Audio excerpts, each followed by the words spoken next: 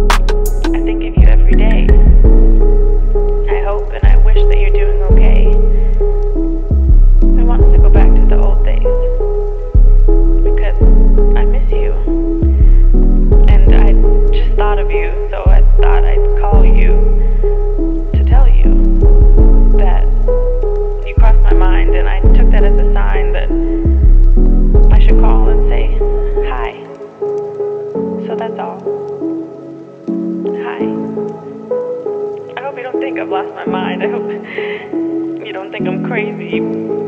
This message is getting long, so I should just say bye. But the idea of you listening to this, the thought of you on the other side of the line, I can't hang up. I don't want this to end. Not again. I don't know if you miss me too. I mean, I haven't heard from you, but I hope you do. I'll always love you. Things never go back to what we were, what we what I became so used to, what I thought would be forever. Just us two. But anyway, I just called to say that I miss you.